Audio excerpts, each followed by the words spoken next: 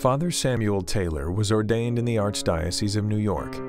Father Taylor was included on the Archdiocese of New York's 2019 list of archdiocesan clergy credibly accused of sexual abuse of a minor or the subject of eligible IRCP compensation claims under the subsection the following archdiocesan clergy are awaiting final canonical or archdiocesan disposition of allegations against them.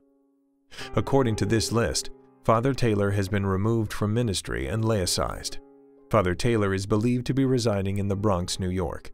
Whether he has access to children is unknown.